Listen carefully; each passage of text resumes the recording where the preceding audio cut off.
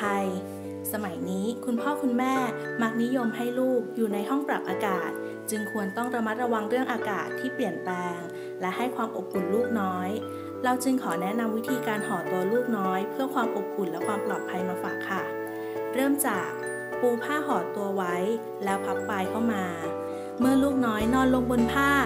ให้จับผ้าบริเวณศีรษะเข้ามาห่อหน้าลูกทั้งสองด้าน